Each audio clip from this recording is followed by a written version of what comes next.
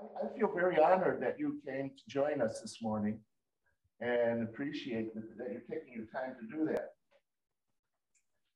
well, thank you. I'm, I'm, I'm glad to be here. I'm only sorry we can't do it in person. I wish we could. Um, I'd just like to, to ask, you know, we'll start off by asking a simple question. Why did you feel necessary to write this book? Why did you uh, initiate this project? Um, well, uh, I've been following Facebook since pretty early in its history. Uh, I met Mark Zuckerberg in 2006. Uh, it was only two years old, and he was barely more than two years old. He, he actually was uh, 19. Uh, and followed its growth, but it wasn't until late August of 2015 I think the date was August 28th, 2015, that I realized I had to write a book about Facebook.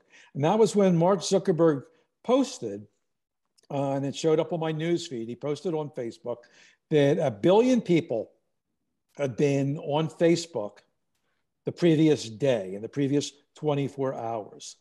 And that really struck me. You know, a billion is a sizable chunk of the world's population. And sometimes you hear that maybe uh, the World Cup gets a billion viewers uh, or the Oscars or some event like that. Um, but that's only kind of like a, a one time spike. Um, for Facebook, it was going to be a baseline, it was only growing. And what's more, unlike watching a television event, this was a network where any person, any one of those billion people, could express themselves uh, to any one other person on the network or everyone on the network. It was, in theory, uh, you could post something and millions and millions and millions of people would say it. You could be publishing to millions. And I realized that was something new in human history to wire together so much of the population of all humans. And again, it was just getting bigger and bigger. And I realized, wow, what does that mean? How did that happen? And you know, what, how's the world going to change from that? And who are these people who are doing it? So I thought the only way to do that was to be, write a book, dive in, and I really needed the cooperation of Facebook to really get the full story. I mean, you could do a story without their cooperation, but I wanted to hear from them. And it took me a year to get them to agree to talk to me, give me access to all their employees, and to uh, tell their former employees who were nervous about talking to me, yeah, you could talk to this guy. And literally a year to the day almost after I read that post from Mark Zuckerberg, I went on a trip to Africa, to Nigeria with Zuckerberg uh, to begin the reporting on the book. That was in 2016. And maybe we'll talk about this more, but a few months later came the election of 2016. And then uh, the book changed a lot. Uh, that changed the direction of the book as well as the direction of Facebook. Excellent. Thank you.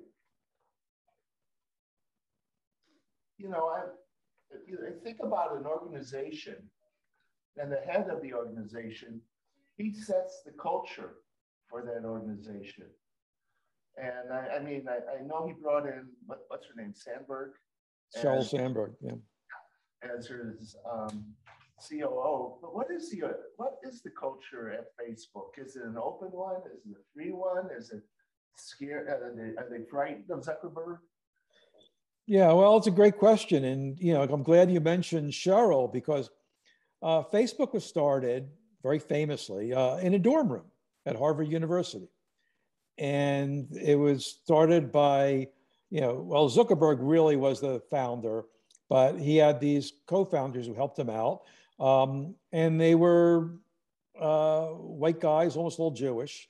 I think you know a couple of them might not have been, but uh, um, but uh, and they were you know uh, ambitious kids who had um, gotten into Harvard and were excited about technology, wanted to build things.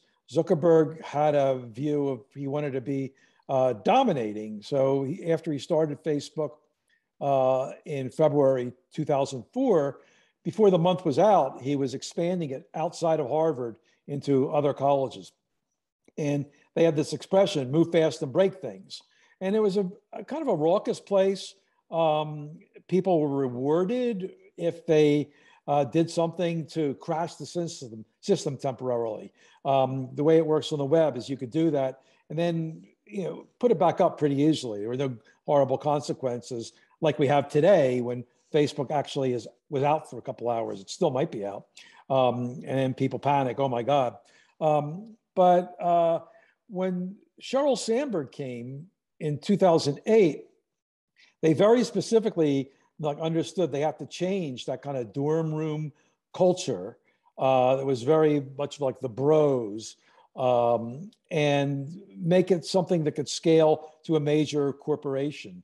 And she immediately came in and decided, well, these women aren't empowered at Facebook. How do I make that happen? And it is pretty much of an open culture in, in a sense. People aren't afraid, afraid of Mark Zuckerberg, but um, they understand that Mark's word is law at Facebook. Um, and for many years, uh, they would, even though they had the, the new employees of Facebook hadn't met Mark Zuckerberg, um, when you would talk to them, they would say, well, Mark says this, um, you know, like their leader, right? And they would take the cues from him.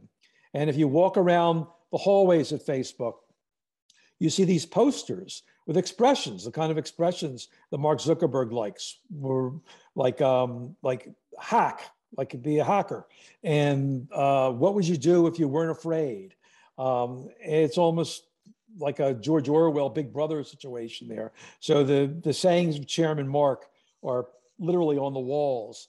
Um, so he has a a very big shadow on the Facebook culture.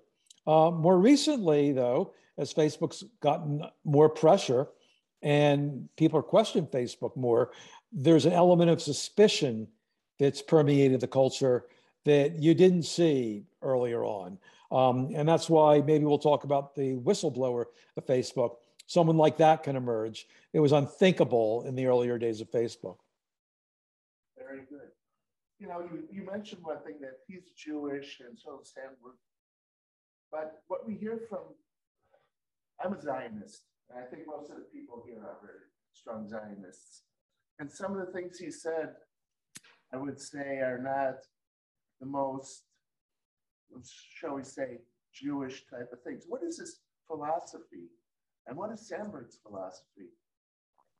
Well, I think they're relatively, I mean, you know, they're not Orthodox, but they're relatively ob- observant Jews and unlike some people in the technology industry who are Jewish, and you never hear them talk about a you know high holidays or um, you know really their faith. Uh, both Mark and Sheryl will refer to it quite often. Um, I had a conversation with him. I talked to him about nine times during the course of doing this book. Um, it was where he talked about um, he reflected a lot, he told me, uh, on Yom Kippur and worried whether what, the things he did had a negative impact on people. Um, I, I don't know whether he was telling me that for show, whether it was sincere, but interesting that he brought it up. Um, and uh, Sheryl's very active in Jewish organizations. Again, you know, uh, she'll, you know, uh, be very upfront about that. Um, in terms of Israel, um, I think they, you know, wa- want to walk a line that, uh, whereas they do in general, is they don't want to offend people on either side of an issue. I mean, um, there was a very famous uh, stance that Mark took uh, for many years, saying people can say what they want on Facebook. They can express themselves. Um, so even though I'm Jewish, I'm not going to ban talk of Holocaust denial on Facebook. And he actually was proud of that. He would he would bring it up on you know uh, on his own, you know, uh, and people would say, "Really, that, that's a good idea." Um, yet he thought that was a good example of how uh, deeply he felt about free speech. Uh, eventually, he changed his view on that. And felt relatively recently, uh, only about a year ago, he uh, said that no longer is Holocaust denial an accepted form of speech on Facebook. And if someone says, you know, the Holocaust didn't happen um, and someone reports it, uh, they will take that down now in, in, in, Facebook.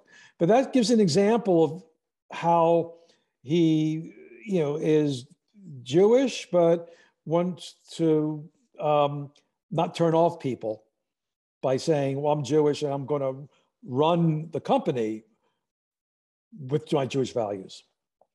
Well, that, that brought up a, a, topic that I had here too. Is many criticize Facebook censorship as being biased. And I mean, the Holocaust is one of the other areas, one of the areas. But I know I have friends here who've been blocked off from Facebook because they're very verbal about anti-Semitism and some other things. And so that brings us to their censorship group and how effective they are and are they being unbiased or not? Okay, well, first, you know, you have to understand it's, it's a pretty complicated issue. When you use the word censorship, that's usually used in terms of the government. Of a, a, the government is an entity that has the power, you know, um, in, the, in, this country, not the constitutional power, um, but in other countries, they have the power to, like in China, to limit speech on certain areas. In this country, we have the First Amendment. So we don't have the government doing that. You know, one hopes that if that happened, the Supreme Court would say, wait a minute, that's an abuse of the Constitution, which you know gives the people free speech and says the government will you know pass no laws to abridge speech. Um, Facebook, as a private company, is free to determine what the rules are for discussion on Facebook. Now, given that, it's a very, very powerful company. Uh, not just a billion, but like 3 billion people use it. It's international, right? So it operates in countries that don't have the First Amendment, where, you know, in Turkey, it's illegal to criticize, you know, the head of the government. Um, in, you know, in other countries, they have laws that there's things you can't say, and Facebook has to abide by them in those localities. And some people feel that given its power, uh, it shouldn't be able to pick and choose of what its own policies are.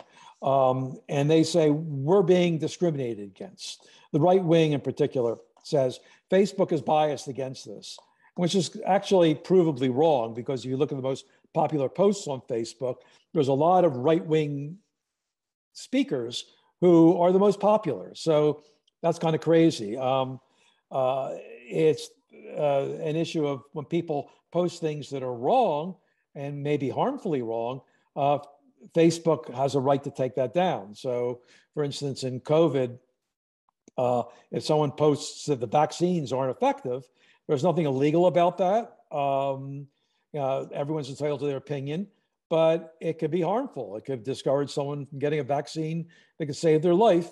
And Facebook has responded to pressure and says they'll take that down. So as long as they have policies, people will say there's discrimination. And it just comes with the turf. When you're moderating the content of 3 billion people, people aren't going to like what you do. And there's going to be sometimes legitimate criticism when you don't take down things that are harmful, that maybe incite people to violence. In countries like Myanmar, um, uh, government has posted things on Facebook that led people to riot and kill people, and it's it's kind of a bad thing if you run a company and what goes on in your company helps to kill people. That, that's not a good thing, and Facebook has to deal with that. It's not an easy thing to deal with it, but it's Facebook's problem.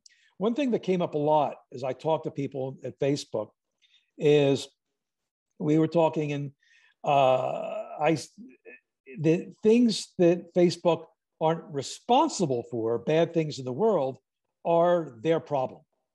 Um, so uh, that's just the reality of the power of that platform.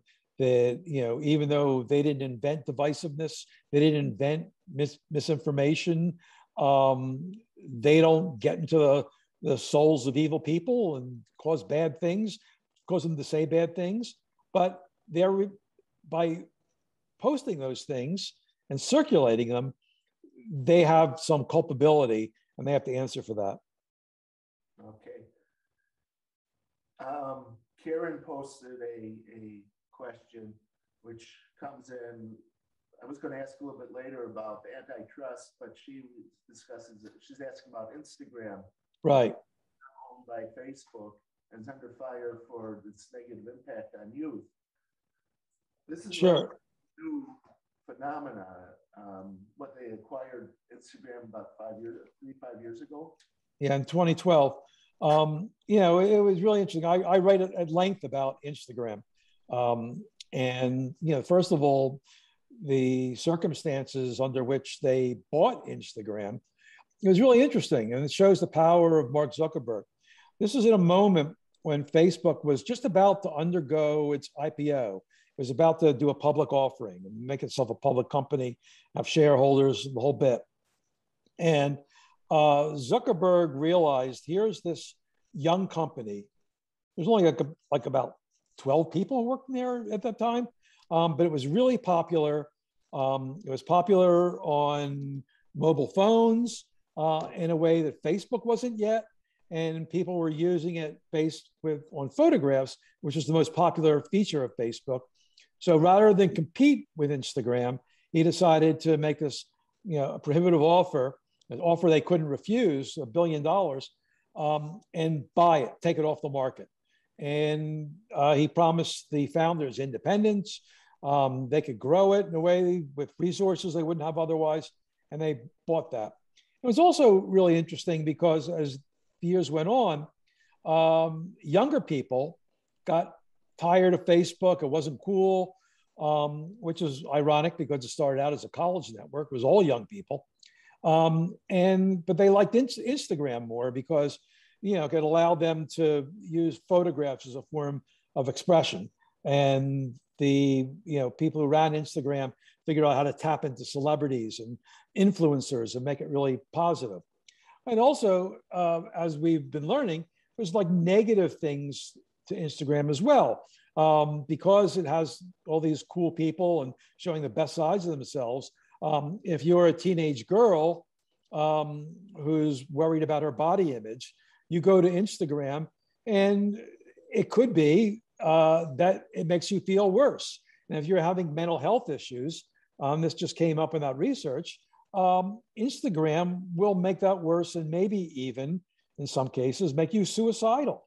Something again that Facebook didn't invent body image in teenage girls. But if their platform is contributing to something that might kill a teenage girl um, trying to get through a difficult passage in her life, that's something that shouldn't be tolerated. I, call that a zero toleration thing, where um, you don't want to be responsible for one single young girl to take her life, right? So it is a, a problem that some people say that Facebook doesn't do enough to stop.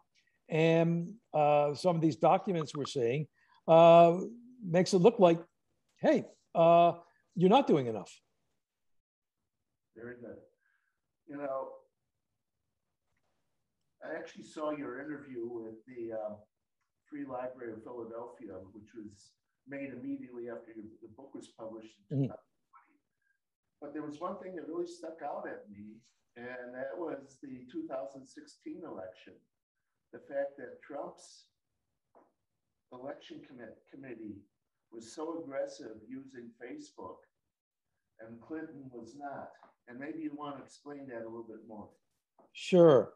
You know, um, you know, as I mentioned before, 2016 was a big turning point for Facebook. You know, they had um, done controversial things in the past, and, and they had actually called out for um, you know uh, privacy violations, a big one from the Federal Trade Commission, um, and uh, but they skated by all that stuff uh, until the 2016 election, where immediately people pointed fingers at them and saying, "Did you help elect Donald Trump? Were you unfairly tilting the election to Trump?" And even some people in Facebook were upset about this. The day after election, they had this big meeting, and literally people were in tears. Um, and I, I, in my research, you know, in the book for the book, I found three ways that Facebook had a hand in the 2016 election. And the first was uh, in terms of advertising. Uh, the Trump campaign uh, understood the power of Facebook in a way the Clinton campaign did not. Nothing illegal about that. They just understood it better. And they made a huge bet on Facebook, spending millions and millions of dollars, um, really the bulk of their budget on Facebook. Um, and they learned to use it in the same way that the big corporations used it. Uh, uh, Facebook offered both campaigns, the Clinton campaign and the Trump campaign, uh, and, their use of their employees to embed within the campaign. Trump said, "Yeah, let's do it. You know, we want to learn all we can."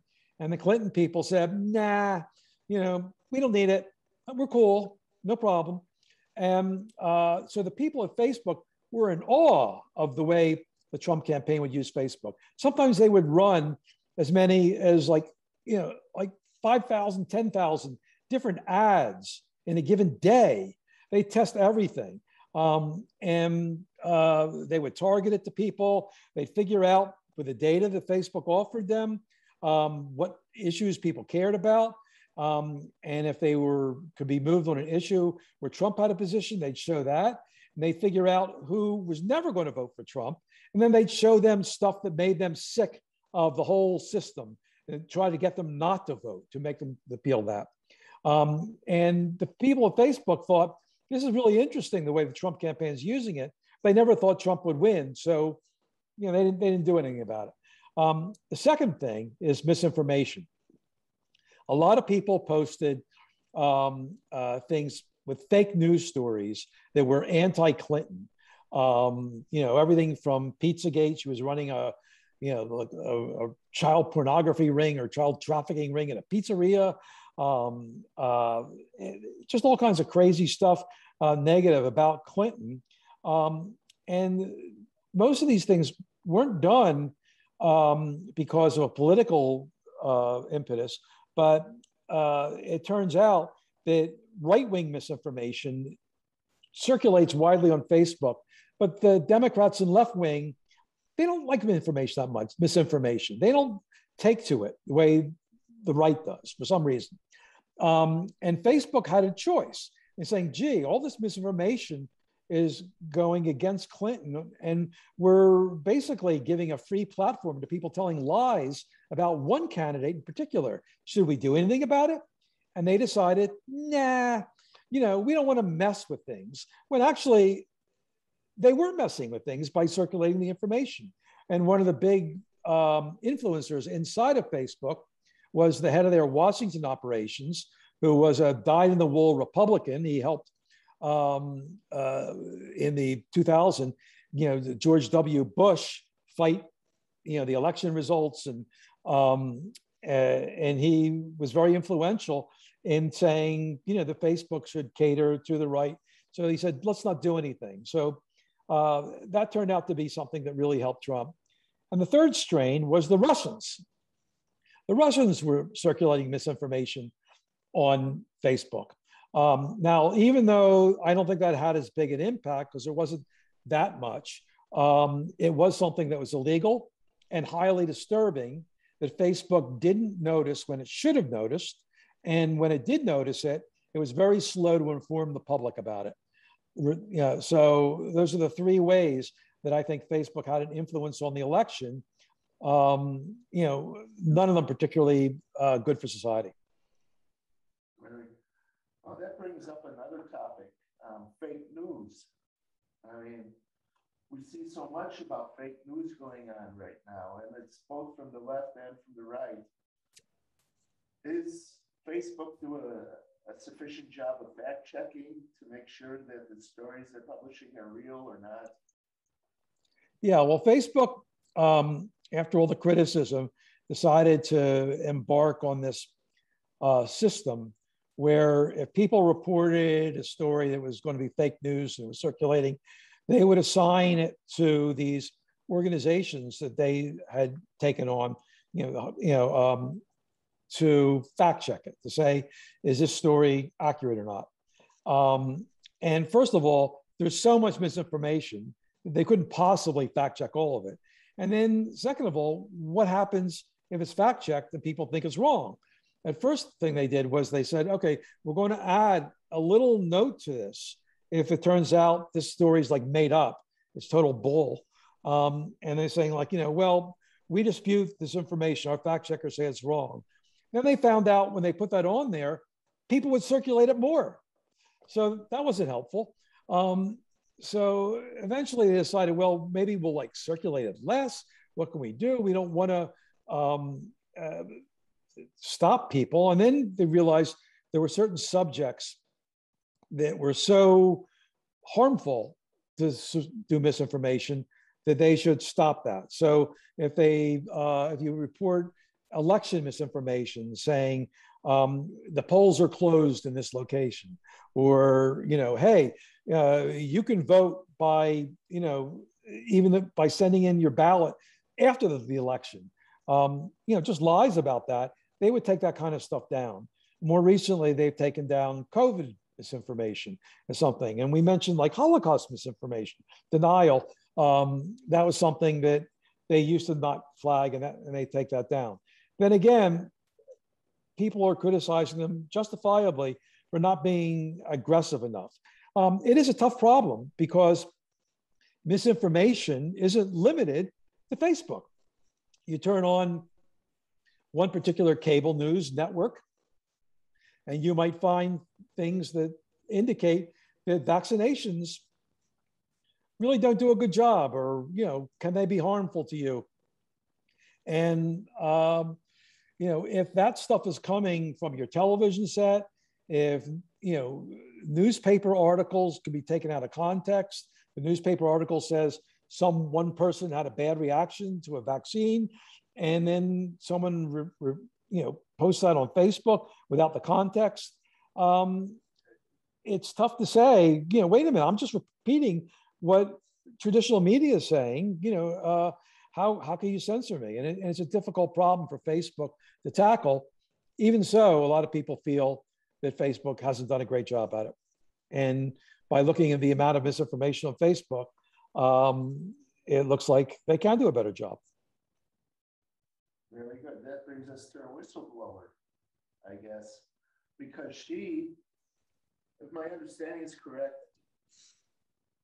she claims that Facebook puts profit over public safety, public truth, whatever. I, I really I've only heard this superficially, so I don't know any of the details. But it, it, you know, that brings up that question is, what about this whistleblower and is she correct in her assessment? Well, I was super interested to see uh, 60 Minutes last night. Um, you know, the Wall Street Journal over the last couple of weeks has been writing uh, stories based on the documents that she uh, took from Facebook. She's kind of like the Ed Snowden of Facebook. Um, it's very similar in that, uh, you know, she decided that people should know what's going on inside Facebook. So she became kind of like a big vacuum cleaner, uh, sucking up documents, um, just like Ed Snowden did with the NSA. Uh, and in both cases, uh, they didn't have a, a, a, very good system preventing someone from doing that. Um, and uh, as it turned out, I, I knew this woman. Uh, I literally had traveled around the world with her. Uh, about uh, 14 years ago, I went on a trip with some young Google managers. That they have this program where they go around the world. They go to different international offices. So I'd been around the world with this woman, you know, um, and 17 other young uh, managers at Google at the time. And and I know she's a you know a very um, a woman with a lot of integrity, um, with a big sense of what's right and what's wrong. And you know, when she says that Facebook chooses profit over safety, that really resonates with a big theme in my book. I talk about many times where Mark Zuckerberg is faced with the choice of, you know, should we come out with this product or not? or should we alter, you know, the way we do things? And on one hand, um, if you change the product, um, it would make Facebook a safer place, but people might use it less. Um, and he is the ultimate decision maker. And all too often, even though some of the people around him were saying, Mark, don't do this, it's not good for the public, um, he would do it. And that happened a number of times. I don't think he's an evil person. I actually enjoy conversing with him. Um, but when those decisions come, it's almost like he's got like a, a good angel on his shoulder and, a, and the devil on his other shoulder. And too often he li- listens to the devil. Um, now, um, does Facebook algorithms designed to promote hate? I would say no. The you know uh, they they're designed to promote engagement, which happens to wind up that hateful stuff gets promoted. No one sits there and says, um, Facebook, how can we make more hate appear on Facebook? What they say is, how can we get people to engage more on Facebook and stay on the, the platform more um, and, you know, make comments and, you know, uh, and be involved. As it turns out, hateful things do that. So the algorithms take the things that work and promote them. Um, and that is for profit. So um, uh, it's something which is built into Facebook. That they make tweaks to it, but it's an essential, you know, core of the way the company operates that I feel they have to re-examine. Um, does face the company fuel the Capitol riot? And this one, I feel you could argue that Facebook might have done a better job, but uh, some of the organization that goes on on Facebook if there were no Facebook, they would have used something else to organize it. So I actually, I'm not as worked up about the idea that people use Facebook as a medium to organize something um, because, um, you know, there's any number of communications media that people can use to get together. So if it wasn't Facebook, it would be something else. It's not like saying, um, you know, that uh, there's no other way for a group to get organized. All right. This kind of brings up another topic. Um,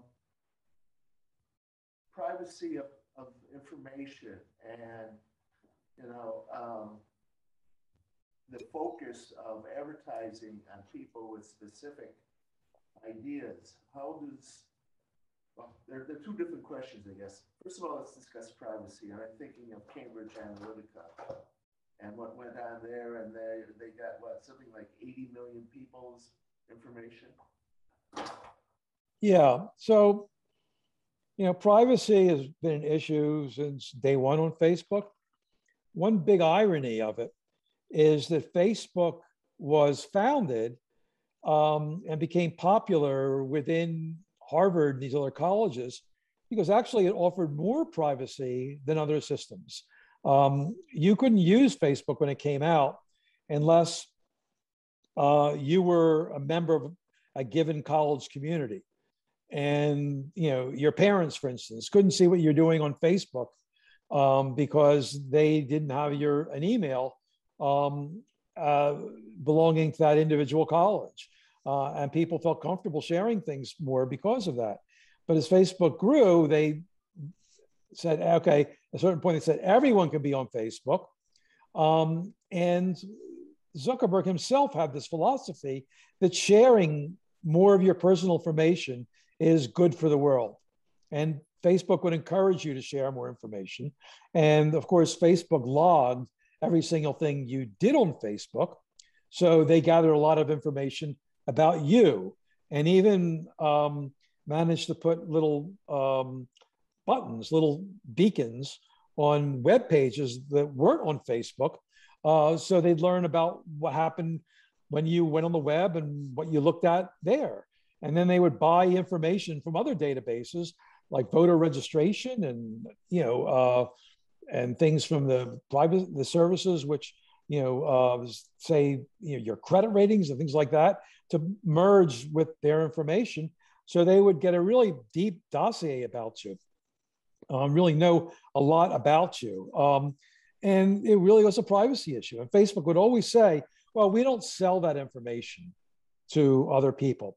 Yet, if I were an advertiser and I said, I, I was able, I'm able to like micro target my ad. So I'd say, well, I want to go out to members of, you know, to Jewish people who like golf and drive Toyotas in Orange County. And, you know, uh, face, you know, I couldn't say to Facebook, here's some money, give me those names. But I could say, I want to target my ad to those people. And if someone responded to the ad, I would know that person had those attributes. So there goes the privacy. I didn't even know what number, you know, the, the, the number of the phone that they used to connect with me. Um, uh, and Cambridge Analytica was a case where Facebook had a program where they let uh, outside software developers, people who wrote apps that ran on top of Facebook, um, they gave them the name, the, the information of people who signed up for those apps or surveys or whatever, and also the information of those people's friends. So Cambridge Analytica came about when information from, that Facebook just gave away to some researcher at Cambridge University who did a stupid survey, and everyone who signed up for that survey, was a couple hundred thousand people, gave the personal information to the researcher, but also the personal information of all their friends. And then they got the information of the friends of those friends, and sooner or later had millions of people, which the guy sold to this company, Cambridge Analytica, which worked for Donald Trump. So uh, it, it's questionable whether that had an effect on an election, but it did underline how loose Facebook was with people's personal information. Okay, that brings up something that was also asked is how do they focus individuals' opinions so you can do micro marketing or micro uh, micro targeting of information? I'm not quite sure the question is. I mean, the, the, the, I mean, basically, by knowing that, people can um, uh, target things to influence you. And that's sort of what the Trump administration did, and, and that what happens with anti-vaxxing and things like that. You know, Facebook says that the reason why we should be cool with this targeted approach is that uh, if we didn't do that, you would get ads that aren't relevant to you. And by seeing ads that are relevant to you, we're sending you useful services. And I'll be honest, sometimes I do buy things that, from ads I see on Facebook. If they know that I like a certain musician and want to sell me like a T-shirt I never would have seen that has that musician on it, um, I, am saying, wow, that's that's cool. I could buy that T-shirt. Um, that's a benefit to me, but it's not a benefit to me if people say, I know your weak point, I know your soft spot, and I'm going to exploit that and get you to do something you wouldn't ordinarily do. That's not a benefit to me. That's an assault on me. And that's what Facebook allows to happen. All right. Um, I'm coming into the harder questions.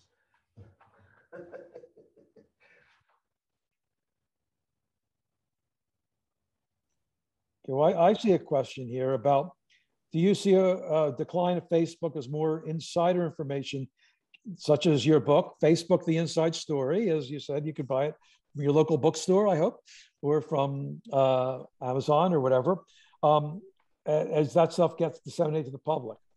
Well, that's a great question. Um, I feel um, so far it hasn't happened. And in my book, I write how on one hand, the reputation of Facebook has really tanked, but the revenues keep going up.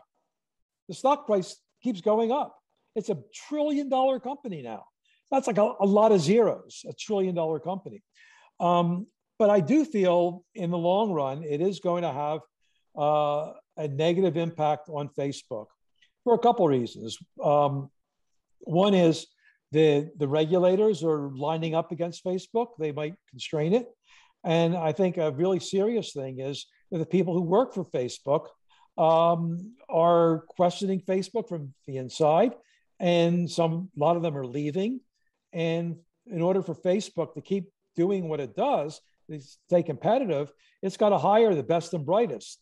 And more and more, if I were a great artificial intelligence scientist, I would look for places, you know, I had a choice of many places that wanted to hire me. And I would say, why do I want to work for this place? I go home to my family and they'd say, you know, you're working for this awful place, you know, uh, why, why do that? So it's going to be tough. Okay. One of the um, questions that came up is you think Congress should exert greater control over Facebook and similar outlets? I guess this ties to that famous section, was it 230 and yeah. Trade Commission, whatever? Yeah, um, well, I mean, certainly, as you see by the volume of hearings and um, and reports, uh, both in Congress, um, Federal Trade Commission, um, that you know, Facebook is getting more scrutiny. Um, now, this 230 you mentioned, I, I'm a little wary about coming down on Facebook for that, and I'll tell you why. First of all, a little primer. This thing called Section 230 it was part of the 1996 Telecommunications Act. At the time this was passed, the internet was just getting off the ground. And people worried that here's a medium that allows people to post things on their own. Um, and it, companies that give people a voice are going to be constrained if they're responsible for every random thing that somebody says it could be a nut somewhere um, before they could uh, even look at the post. So a company like Facebook with like 15 billion posts a day you know, how could they be like a newspaper, or Wired magazine, where I work, and look carefully at something and say, you know, well, uh, we have to make sure that this doesn't defame anyone um, or, you know, violate rules. So what they did was they said, these companies, these platforms aren't responsible. The speaker bears responsibility. Um, if it's illegal content, then the companies when they learn about it, they have to take it down. But um, you know, it's more of a medium like the phone. When you talk into a phone, the phone company isn't responsible. Now people are saying, nah, nah, you know, that period is past. We have to control, you know, uh, we have to let the, the companies be responsible for it. I think that's a that that would be a bad thing. It would sort of end not only Facebook but all social media. Um, I'm up with people being responsible for what they say, and I'm up for being for companies being responsible citizens, but I'm not quite ready to end the era where people can speak um, and with this, you know, like amazing megaphone of the internet. Um, so um, a lot of people are talking about ending Section 230 or like limiting, and I think that would have un- bad unintended consequences. An allied topic that's, excuse me, um, allied topic I'm sure it's near and dear to you is people are asking now that um, journalistic impunity be, you can charge them with libel for saying things in the, in the press. How do you feel about that personally, being a journalist? Well, I mean, that's something that I live with every day. I mean, you know, you don't libel people. You know, I mean, it, it's we follow the law, and responsible journalists um, uh, do their best to, you know, uh, be super careful when we're writing something about someone which is defamatory um, uh, if it's wrong. Um, in those cases, you take real careful, you know, steps to make sure that you know what you're talking about. Um, because if you intentionally write a falsehood and you publish it, you're responsible. Um, uh, we've seen cases where, you know, I mean, right now, um, to take one case, um, you know, some people who were defending Trump after the election and blamed it on this election uh, technology company. They're being sued for defaming the company because uh, they accused it of a crime and were wrong. And, you know, and that that's that's defamatory. Um, I think you know if I if I write something in a Facebook post or a Twitter post that's defamatory, it's up to me to be responsible for it. Um, and if I'm found to be guilty of libel, then the company should take down the post. Be, you know, forced to take down the post once they they know about that. Okay. Um, what is the Supreme Court of Facebook, this, this oversight committee, and how much influence do they have on what Facebook presents to the public? Yeah, one thing that Facebook did was um, uh, they, they, they had, uh, they call it an independent oversight board um, that uh, they set up. They gave it some money up front. So it wouldn't be a case where if this board said something that Facebook didn't like, they could cut the funding out. So there's no funding for five years. And um, it operates on its own. Face and, and what they do is they look at decisions that Facebook made over specific pieces of content, and they can overrule it. Facebook says this, we're taking this post down, it violates our policy, um, and someone appeals, um, and the oversight board agrees to look at this case, they could say, Facebook, you are wrong for taking it down. You have to put it back up, or vice versa. Someone says, you know, Facebook, you know, there's something on Facebook that, that you know, uh, that's hate speech that bullies me, um, and Facebook wouldn't take it down. The oversight board can say, take it down. And face, the board can also uh, uh, make a recommendation saying, hey, uh, change the policy uh, about this. You not only did you do this wrong, but your policy's wrong. Uh, and in that case, Facebook agrees to look at its policy, but doesn't agree to change it and says, well, if we reject your recommendation, then we'll tell you why. So it has limited power. But what I find interesting about the board is that Earl, right from the get go, they're skeptical of Facebook and they're using their position uh, to be critical of Facebook and you know, in ways that Facebook might not like. So it's interesting to see how that that develops. Very good. Uh, yeah, you're gonna have to talk up loud. People can't hear very well. Uh, people can't hear me. No, it's yeah. not you. It's from me. Okay. The board is made up of five people. Who picks these people? Yeah, that, who picks the people on the board?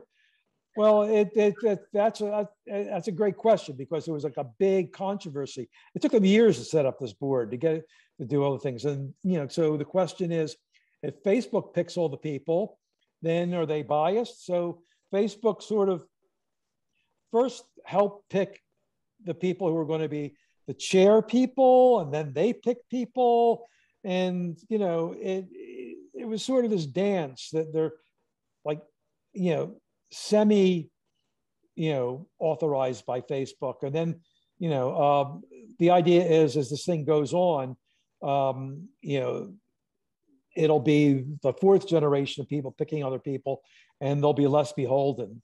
Um, but Facebook, uh, the people aren't like stooges. Um, and, you know, I think their main concern, I've talked to people on the board, is that they not be seen as puppets of Facebook. Okay.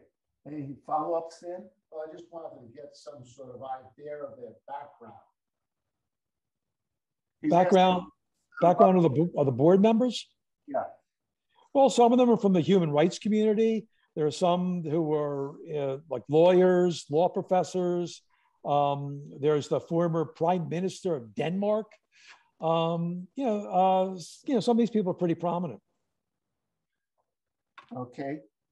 Um, what did Mark think about your book? Because it sounds like your book is has positive and negative points about Facebook in there.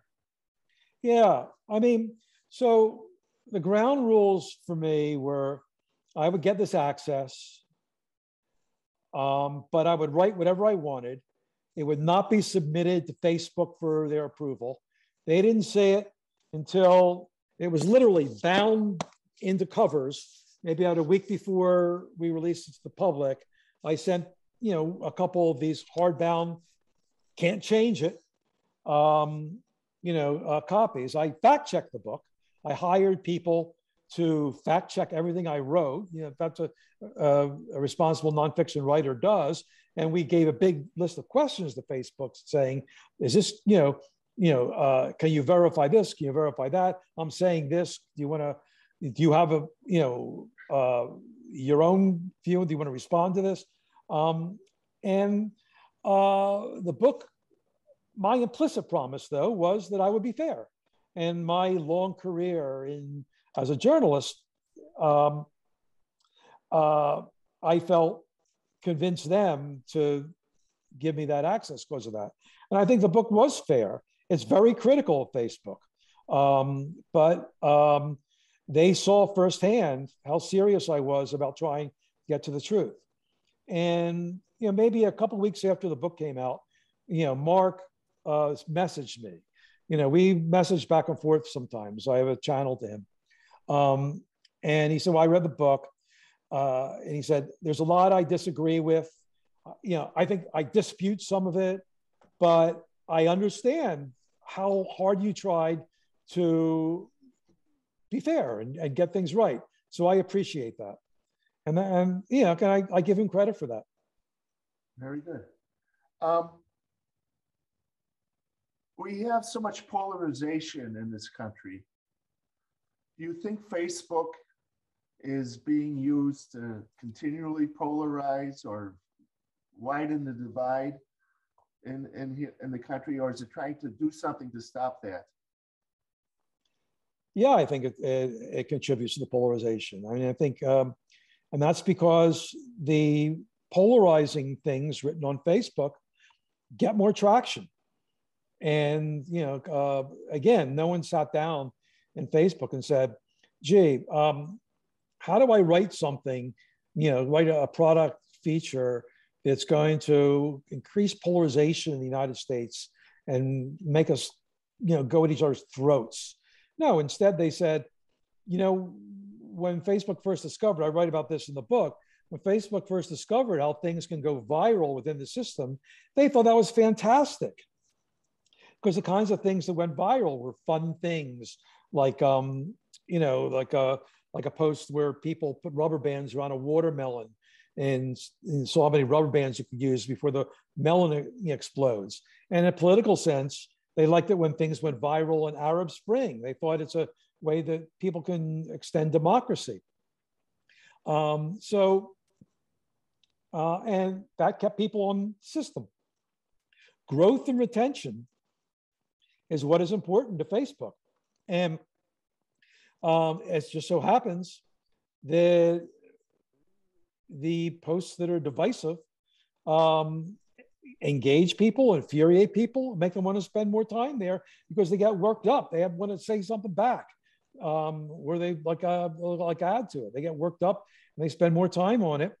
Um, that happens to be good for Facebook in the sense that people spend more time and um, look up more ads. Um, and uh, you know, the question is, how far will Facebook go to mitigate that? Um, and the answer seems to be um, not so far as to make people spend less time there. Okay. You know, we talked about the 2016 election. I know your book was published before the 220, but had things changed between the 216 and the 220 elections and the political use of Facebook? Well, yeah. Um, well, I guess the Democrats figured out that it's important to use Facebook. Uh, that was one thing. Um, so the Trump campaign didn't have that kind of advantage. Um, they spent more resources in trying to police election misinformation. But there were new issues. They got in, pro- in trouble because Mark Zuckerberg had this idea that um, we shouldn't mess with having to fact check what politicians say. Um, so if someone posts, you know, a political ad uh, which tells an outright lie, um, it's not up to us to take it down. You know, that's political speech. People will figure it out. Um, and that didn't win people's hearts. Um, and, you know, because especially since, you know, it turns out the fact is that misinformation, as I said earlier, it just so happens that one side of the political spectrum um, gets a benefit out of it that the other side doesn't. So that stance of Zuckerberg's that he really held to, um, you know, uh, turned out to be de facto uh, benefit for one side. So, um, you know, a, somewhat of a mixed uh, record in terms of the 2020 election. Okay. Um, I just had an idea. I had a mind fart. At my age, it happens. um, okay, let's get back to this breaking up of Facebook. Has Facebook gotten too large to be broken up by antitrust?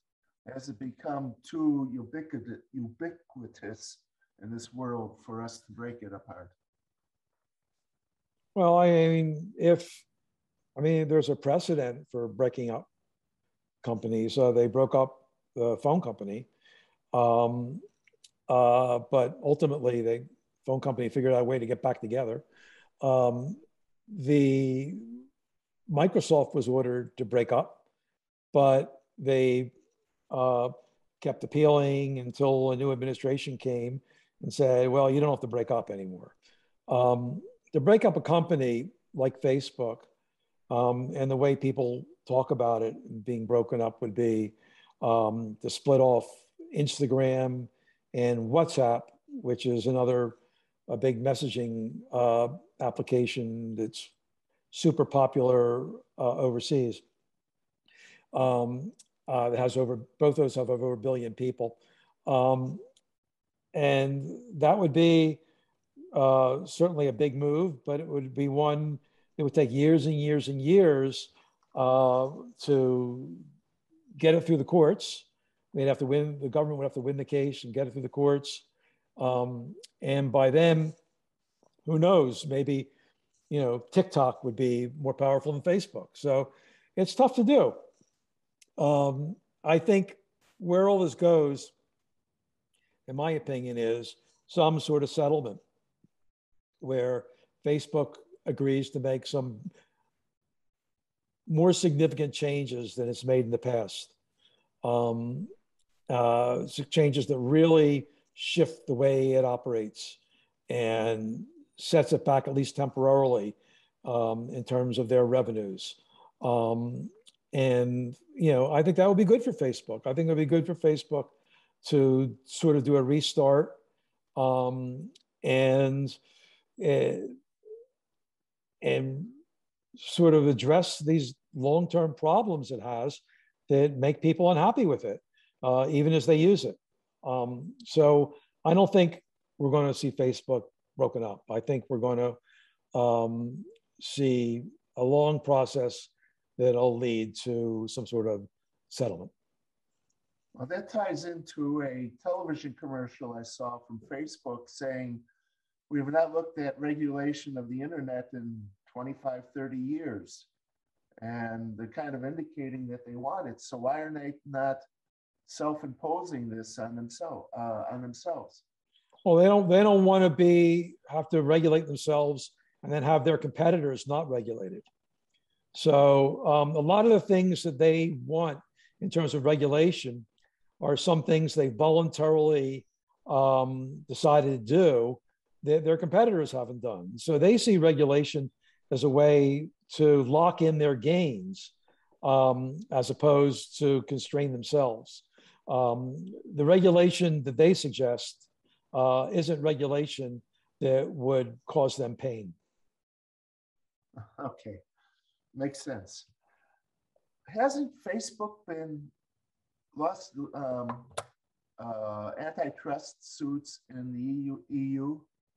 Yeah, it has. I mean, there, there's been a number of cases internationally against Facebook, um, and they paid billions of dollars in fines.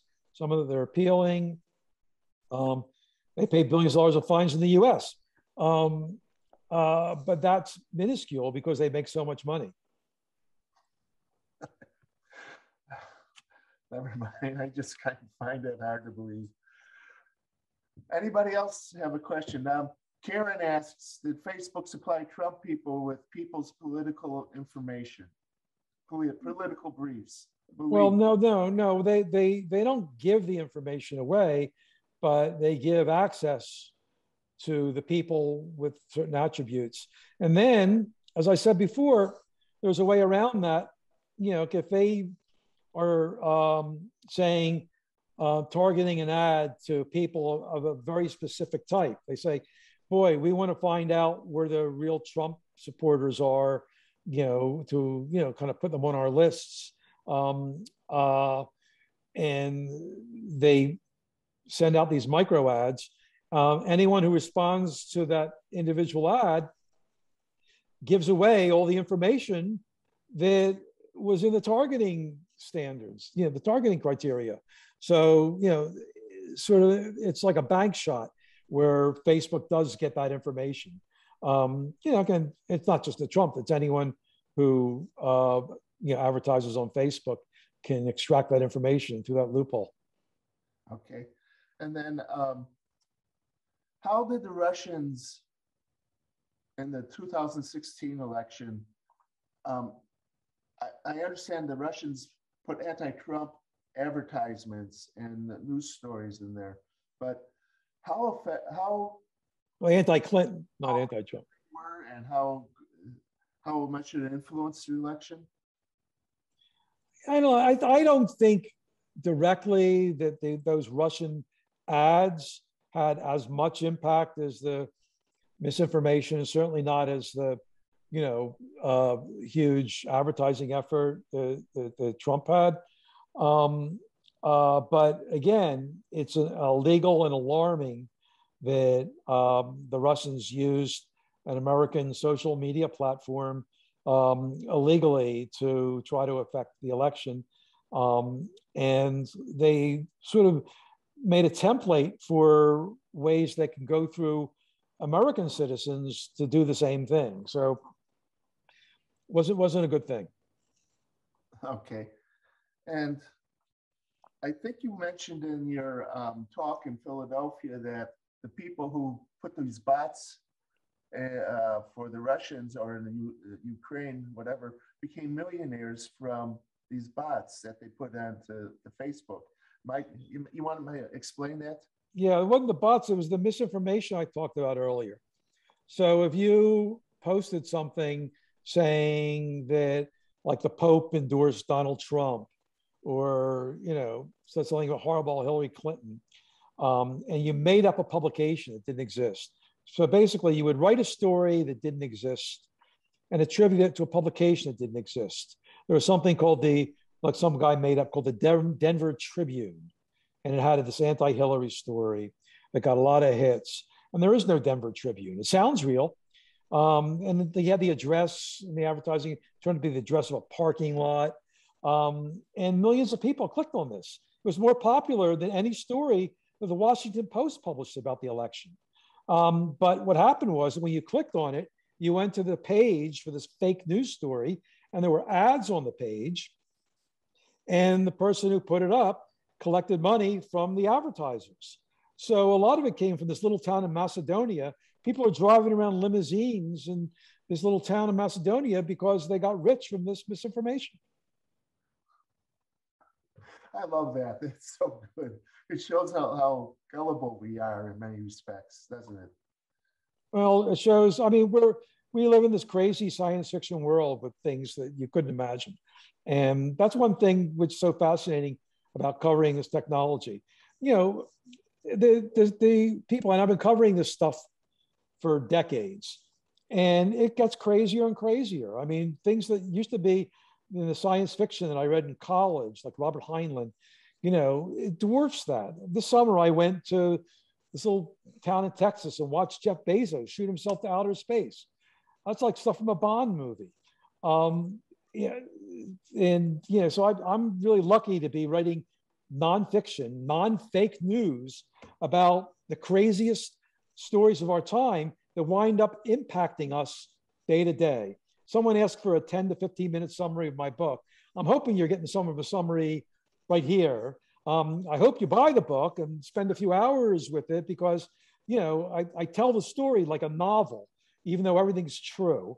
Um, and, you know, because it's, it's an amazing narrative that could only happen in the 21st century with the internet and with the way that we consume it and the way it consumes us. And here's your chance to look inside this company and see how it happened and what these people are like and you know and and how they built a machine that they can't possibly control. Well i'm thinking of google and or alphabet whatever they call themselves now and uh, even tiktok. I mean these these guys are growing so big or twitter. Um, uh, is there any way we can control these these mega corporations that make up uh, the the bulk of the um, uh, stock market and the the, the um, S and P 500. Yeah, we can make better laws and we can enforce the laws we have. That's the bottom line. I mean, you know, if we had laws about privacy that said you can't collect this information without my permission, you have to like you can't say, um, you know, you, you can't let them collect it and then later ask me, is it okay if we did this? I mean, before you collect the information, say, hey, are you okay with this? Before you track me on the internet, to say, here's, we're going to track you on the internet. Do you want to do that? Not give me a 50 page document that, you know, I have to look at, you know, can, you know, I'll never look at. Um, pass better laws. The SEC, the financial stuff, we have all these laws that we don't enforce, you know, so let, you know, it, it really is something that we do have control. You know, Facebook is not going to intentionally violate the law. If we did better laws about privacy, Facebook would follow them. So, I, I, so I find a lot of this posturing in these hearings from Congress saying, you know, to Facebook, you know, uh, why do you do this? Why do you do that? You know, I have a question for these people in Congress is saying, why aren't you passing the laws that protect us? Right. Stan, you have a question. You're going to have to talk very loud. Right. Why would these advertisers advertise on fake news? Uh, and once they find out it's fake news, why don't they remove their advertisement to get rid of it?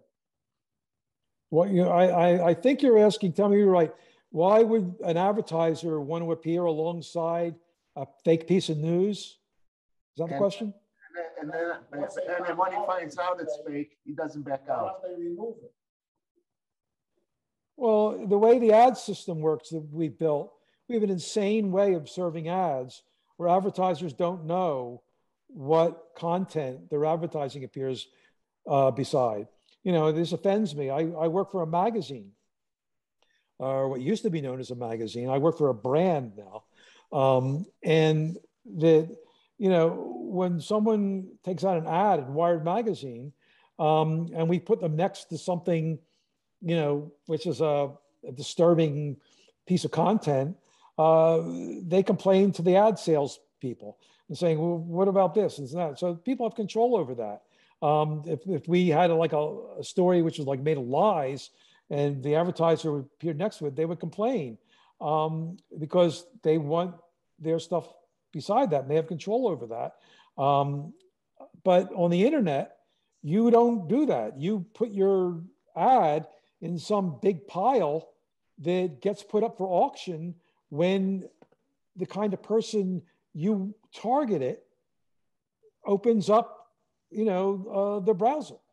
So basically, you're not targeting the content; you're targeting the people, and it's irrelevant what the content is going to be. So, you know, it's something that, uh, a lot of advertisers have difficulty with. That it's a crazy system. It's, it's a big pull. I guess my, my final question to you is what do you feel about the future of these high-tech companies like Facebook, Google, so forth? And what's what's going to be happening to our, you know, they've interacted into our society. They become so intermeshed with everything we do, and you see kids. Well, uh, I don't know how many kids I missed on the, on the street because they're all watching, reading Google or texts on their phone, and no one seems to be paying attention to the world any longer. And there's people complaining about that we've lost the ability of our, ourselves by not communicating directly to see emotion and understand emotion. Yeah, that, that, that's a great question. You know, it's kind of funny. One of the things that came out from the whistleblower documents that she took from Facebook was that they had this meeting um, about uh, you know how to get Facebook, you know, uh, to, uh, to be a habit for younger people, even kids, and they were saying, "Wow, you know, we've been like researching like play dates or like when people get together, and they don't look at their phones enough. You know, what's the matter with these kids?" That in these play dates were they're talking to each other. We've got to stop that. You know, you know, the, my God, there's a moment in the, the, life of the teenager where they're not looking at a phone. You know, this is terrible. Um, you know, believe me, as, as everyone knows, with your kids, your grandkids, they look at the phone plenty. And I wish I could say people are going to, you know, go in the opposite direction. I think there will be pockets that say, hey, we're going retro. We're not going to look technology so much, but that's not the trend line. The trend line is more and more and more. The next big product isn't phones, but glasses. The internet's going to be on our glasses. Um, instead of just looking at, you know, at a screen on a like a piece of you know metal and and gorilla glass, you're going to be looking at it from you know something in, in, in, your glasses even if you don't have a prescription you'll be wearing them to be able to, to see not only a, like a, a screen but you'll be seeing things in your room and the street that aren't really there that are virtual. That is our destiny as human beings and it's not a happy one. So have a great day. Does anybody have a one last question Stephen before we say goodbye? Good to do. Anybody at home? I don't see any hands raised here. Okay, well, th thanks very much. I really appreciate it.